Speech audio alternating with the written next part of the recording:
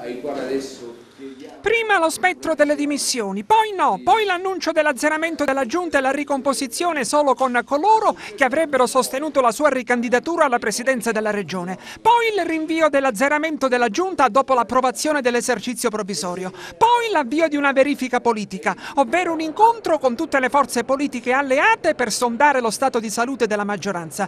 Adesso l'epilogo. Nello Musumeci procede fino al termine della legislatura, senza scosse telluriche, violente o meno. Il presidente ha relazionato innanzi ai deputati e la coalizione si è ricompattata intorno a lui.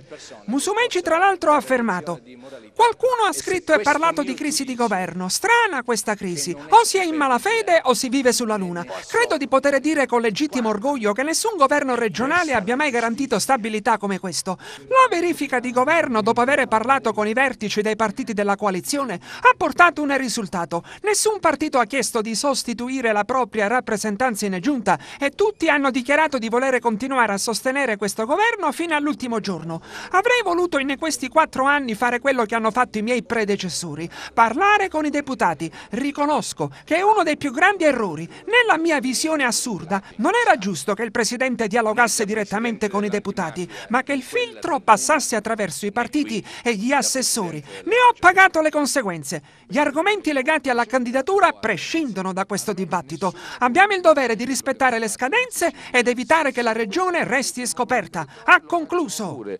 tale appello è stato recepito e rilanciato soprattutto dai deputati di Forza Italia, che non proprio in accordo con Gianfranco Miccichè hanno scritto L'evolversi del quadro politico in Sicilia ci consegna l'esigenza di porre un deciso freno alle polemiche delle ultime settimane. La road map politico-amministrativa tracciata in aula dal presidente Musumeci impone a tutti noi di fare uno scatto in avanti a difesa degli interessi della Sicilia, delle famiglie e delle imprese.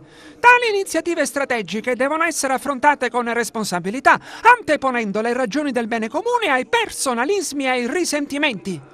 E poi Pellegrino, Savona, Gallo, La Roccarruvolo, Papale e gli assessori regionali Gaetano Ormao, Marco Falcone e Marco Zambuto hanno aggiunto gli obblighi dettati dalle scadenze di bilancio, dall'irripetibile occasione del Piano Nazionale di Ripresa e Resilienza e dalla programmazione dei fondi europei 2021-2027 richiedono a tutta la politica, infatti, di farsi trovare pronta e servente nei confronti di progetti e investimenti per l'isola.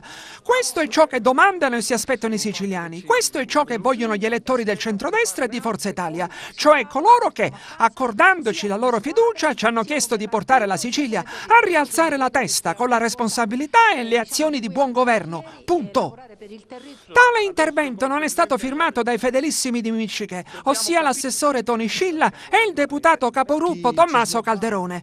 Tuttavia, poco dopo a quanto dichiarato dagli altri deputati di Forza Italia, tranne Scilla e Calderone, Gianfranco Michiche ha scritto «Hanno ragione i miei colleghi». Queste polemiche non servono più, ormai le posizioni sono chiare ed è arrivato il momento di prendere decisioni condivise con i nostri alleati. In qualche maniera l'ultima classe dirigente non è,